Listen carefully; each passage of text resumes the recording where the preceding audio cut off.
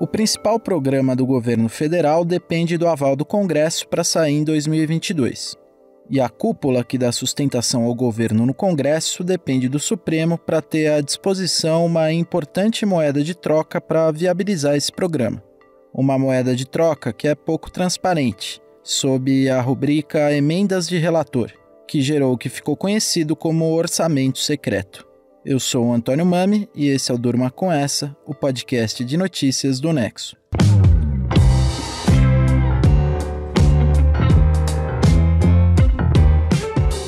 Olá, eu sou Letícia Arcoverde e estou aqui com o Antônio para apresentar esse podcast que vai ao ar de segunda a sexta, no fim da tarde, início da noite, sempre com notícias que podem continuar a ecoar por aí.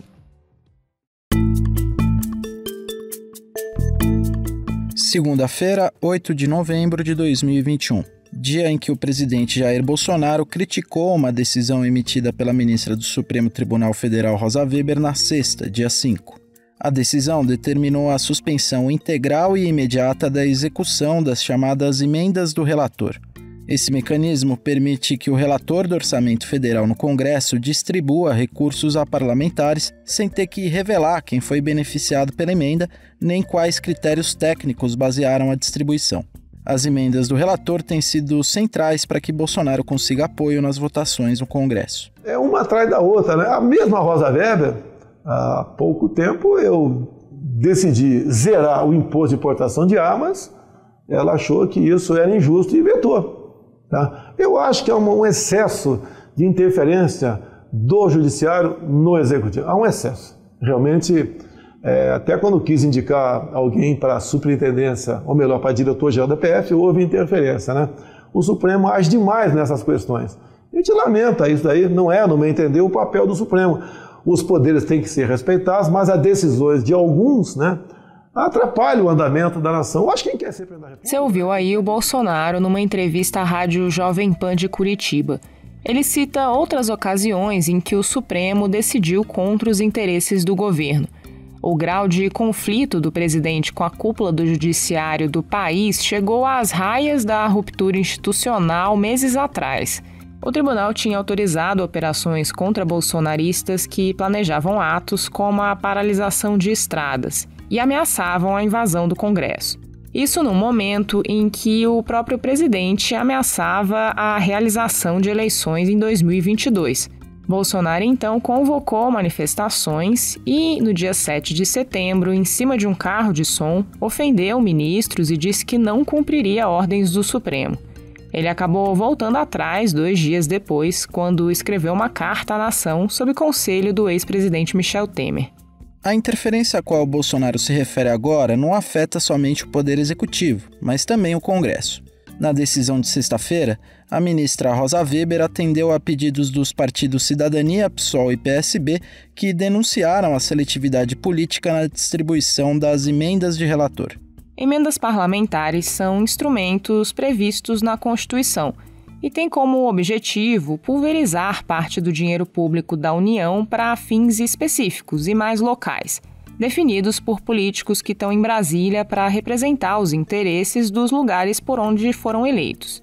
Na semana passada, a gente explicou aqui no Durma os diferentes tipos de emendas parlamentares. Tem as emendas individuais, destinadas para cada parlamentar, e as emendas de bancada, que vão para bancadas estaduais ou regionais são emendas impositivas, ou seja, o governo é obrigado a pagar esse dinheiro. Já as emendas do relator, essas que a Rosa Weber suspendeu, são um tipo de emenda novo e muito controverso. Elas foram criadas em 2019 e são definidas pelo parlamentar responsável pela relatoria do Orçamento Federal, ou seja, a pessoa que vai organizar a votação da proposta do governo e as mudanças feitas pelos parlamentares.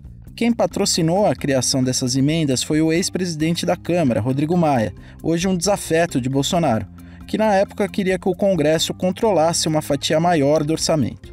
Na teoria, essas emendas também dariam mais margem de manobra para fechar o orçamento, que é algo muito complexo. O relator do orçamento, na prática, acaba sendo alguém alinhado ao presidente da Câmara. E as emendas do relator têm movimentado valores bem altos. Em 2020 foram 20 bilhões de reais. Em 2021 estão em torno de 16 bilhões. São emendas que não são impositivas, ou seja, elas vão sendo liberadas por meio de acordos informais entre a Secretaria de Governo do Planalto e a cúpula do Congresso. E são liberadas por meio de acordos que não são transparentes.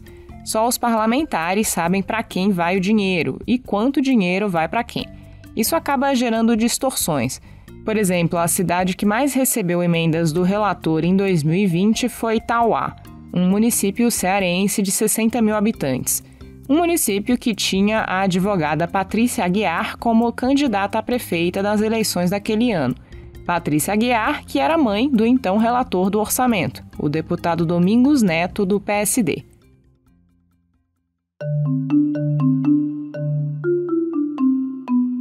A decisão da Rosa Weber ocorre no momento em que a Câmara se prepara para votar em segundo turno a PEC dos precatórios, uma proposta de emenda constitucional que abre espaço no orçamento de 2022 para o pagamento do Auxílio Brasil, benefício social que substituiu o Bolsa Família e que o governo quer que seja de 400 reais mensais. O texto base foi aprovado em primeiro turno, numa votação apertada que rachou partidos de oposição como o PDT e o PSB, que são autores da ação que caiu nas mãos da ministra no Supremo. Às vésperas da votação no primeiro turno da PEC dos precatórios, o governo separou quase um bilhão de reais em emendas do relator como contrapartida à aprovação da proposta. Não foi a primeira vez que o governo usou esse instrumento para angariar apoio parlamentar. Em maio, o jornal Estado de São Paulo revelou que o governo Bolsonaro vinha usando essas emendas para operar uma espécie de orçamento secreto. Esse nome foi dado pela falta de transparência na liberação dos recursos nas contrapartidas exigidas para essas liberações e, como acusam os partidos de oposição agora, pela seletividade na sua distribuição. Quem não votar com o governo acaba preterido. Por isso, a Rosa Weber congelou as emendas do relator até que o plenário do Supremo decida sobre o caso. Isso deve acontecer nesta terça-feira, dia 9. A ministra também determinou que sejam tornados públicos os documentos que embasaram a distribuição de recursos das emendas do relator nos orçamentos de 2020 e 2021 e que sejam adotadas medidas para que todas as demandas de parlamentares relativas à distribuição de emendas sejam registradas em plataforma eletrônica centralizada. A cúpula da Câmara contestou a decisão. O vice-presidente da Câmara, Marcelo Ramos, do PL do Amazonas, disse que Weber acertou ao determinar a publicidade das emendas, mas que ela não poderia suspender os pagamentos. Já o presidente da Câmara, Arthur Lira, do PP de Alagoas, se reuniu nesta segunda-feira com o presidente do Supremo, Luiz Fux, para conversar sobre o julgamento. Segundo informações de bastidor, não há consenso no Supremo sobre manter ou derrubar a decisão da Rosa Weber. E o Arthur Lira corre contra o relógio porque está marcado também para essa terça-feira o segundo turno da votação da PEC dos precatórios. A votação foi apertada no primeiro turno e existe a possibilidade dela ser revertida agora. Isso porque deputados de partidos de oposição que votaram a favor da PEC podem mudar de posição. O ex-governador do Ceará, Ciro Gomes, chegou a suspender a sua pré-candidatura à presidência caso a bancada do PDT não reverta o apoio à proposta do governo e com as emendas do relator congeladas, o Lira perde uma importante moeda de barganha nesse jogo. A ministra Rosa Weber também tem em mãos uma outra ação relacionada à PEC dos precatórios. Partidos entraram com demandas pedindo a anulação da votação em primeiro turno sob a alegação de que Lira feriu o regimento interno ao permitir que deputados ausentes votassem de forma remota e ao incluir na PEC já em plenário temas que não foram analisados em comissões. Esses partidos querem interromper a tramitação da proposta e a ministra pediu que a mesa diretora da Câmara desse explicações. O líder do governo, o deputado Ricardo Barros, do PP do Paraná, disse que as explicações vão ser dadas, mas só depois da votação da proposta na terça-feira. De qualquer modo, esse é só um passo. Mesmo se a PEC dos precatórios for aprovada em segundo turno na Câmara, ela ainda precisa passar pelo Senado. Caso ela fracasse em alguma das duas casas, o Bolsonaro diz que tem um plano B, que pode ser a prorrogação do estado de calamidade pública para 2022, o que justificaria o furo no teto de gastos necessário para viabilizar o Auxílio Brasil em ano eleitoral. Esse estado de calamidade pública também teria que ser aprovado pelo Congresso. O texto base da PEC dos precatórios, aprovado em primeiro turno, faz mudanças que abrem um espaço de 91 bilhões de reais no orçamento, bem maior do que os 50 bilhões estimados para o benefício social. Uma parte do dinheiro extra vai ser usada para reajustes de benefícios e para áreas como saúde e educação. Outra parte o governo pretende gastar com o auxílio diesel para caminhoneiros mas na conta de economistas ainda sobrariam cerca de 6 bilhões de reais sem destino definido. Segundo alguns analistas, esse dinheiro poderia ser alocado nas emendas de relator. Isso porque os deputados querem aumentar o montante disponível para essas emendas na proposta de orçamento que está sendo discutida para 2022, que hoje é de 10 bilhões de reais. A aprovação da PEC dos precatórios, no fim das contas, abriria um espaço que poderia ser usado para impulsionar um instrumento que tem operacionalizado o orçamento secreto de Bolsonaro para obter apoio no Congresso.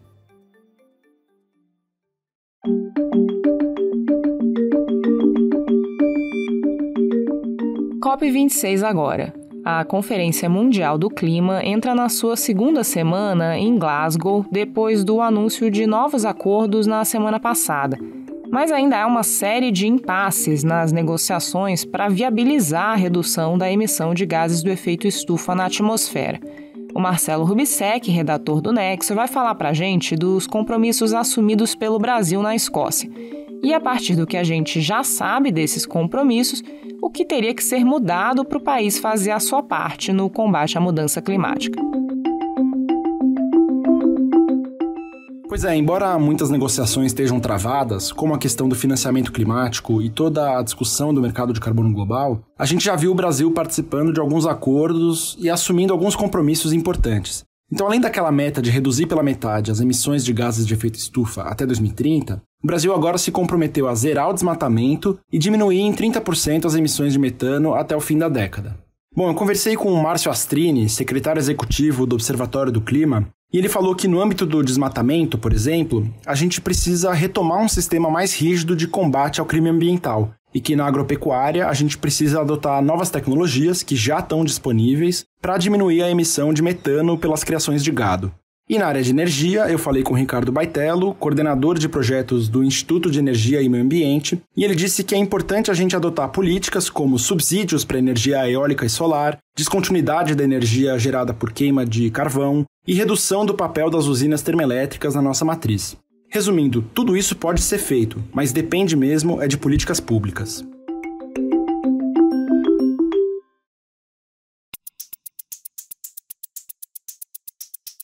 COP26 agora tem o apoio de Nescafé Origens do Brasil, que em 2022 será a primeira marca de café solúvel e para coar carbono neutro do país.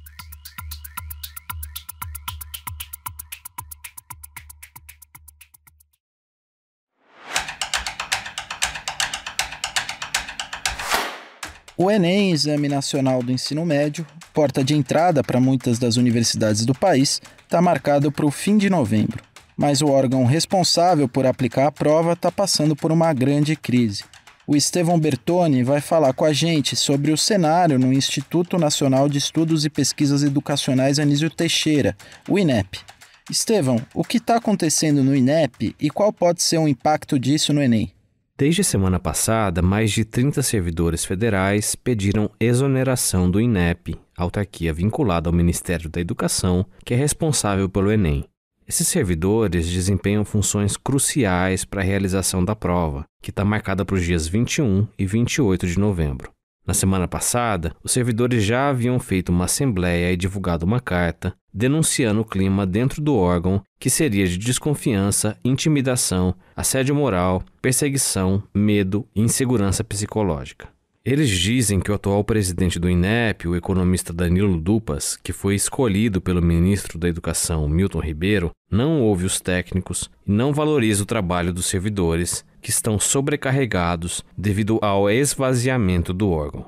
Entre esses servidores que pediram exoneração estavam alguns coordenadores gerais que tinham experiência na realização do Enem e que cuidavam diretamente de algumas áreas, como a logística da aplicação do exame. Na última edição, a prova já enfrentou problemas com superlotação de salas e estudantes barrados na entrada.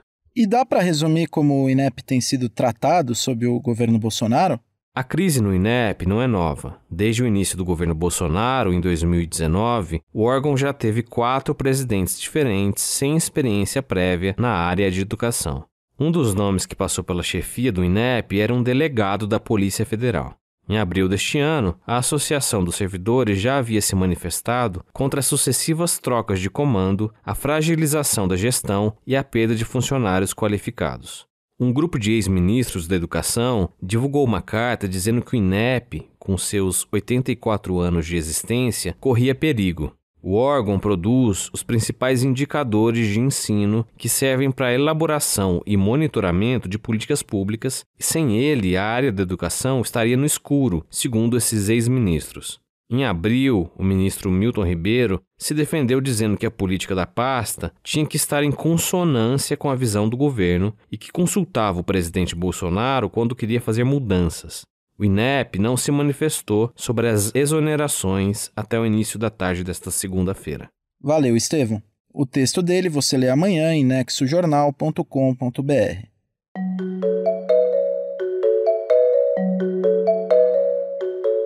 O presidente da Nicarágua, Daniel Ortega, foi eleito para o seu quarto mandato consecutivo no país da América Central. Isso depois de sete oponentes seus terem sido presos antes das eleições. Quem conta pra gente é o repórter especial João Paulo Charlot. Olá, ouvinte, olá, amigos do Durma com essa. O presidente da Nicarágua, o Daniel Ortega, foi reeleito neste domingo, dia 7. Ele venceu as eleições presidenciais com 75% dos votos para exercer o seu quinto mandato, o quarto consecutivo, ficando no cargo até 2026. O problema é que o Ortega praticamente concorreu sozinho numa eleição em que quase ninguém votou. Nos últimos seis meses, a justiça nicaragüense, que é acusada de ser cooptada pelo governo, mandou prender os sete candidatos que poderiam ameaçar a reeleição do presidente. Restaram na disputa uns cinco desconhecidos que fizeram papel de figurantes. A Justiça Eleitoral não aceitou a presença de observadores estrangeiros sob o pretexto de que isso podia tumultuar o ambiente. Uma ONG local chamada Voto Aberto, que monitora o setor, diz que a abstenção foi de 81,5%. O governo fala em 35% de abstenção. Com tudo isso, o presidente americano Joe Biden já soltou uma nota dizendo que a eleição na Nicarágua não passou de um teatro, de uma farsa. O roteiro começou com Ortega no papel de guerrilheiro de esquerda que combateu a ditadura Somoza nos anos 60 e 70 e chegou ao poder como um líder popular nos anos 80, quando foi eleito presidente pela primeira vez. Em seguida, ele voltou a concorrer, mas aí perdeu eleições, voltando ao cargo novamente só em 2006 quando deu início a uma guinada antidemocrática que fez ele ser reeleito quatro vezes agora seguidas, enquanto fechava jornais e prendia políticos opositores. Muitos de seus ex-aliados de guerrilha se afastaram dele. Até o ex-presidente Lula disse meses atrás, em entrevista a uma TV mexicana, que o Ortega devia respeitar a democracia. Numa época em que as preocupações estão voltadas para os ataques à democracia vindos da extrema-direita, Ortega ressurge no panorama político para nos lembrar que autocratas populistas podem brotar a partir de qualquer campo ideológico, em qualquer tempo e em qualquer lugar.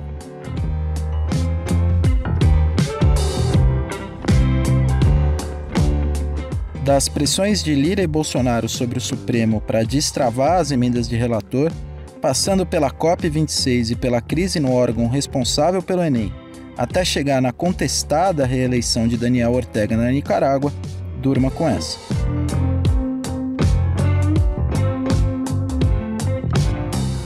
Com roteiro de Antônio Mami, produção de Letícia Arcoverde, participação de Marcelo Rubissec, João Paulo Charlot e Estevão Bertoni e edição de áudio de Roberto Soares, termina aqui mais um Durma com essa. Até amanhã.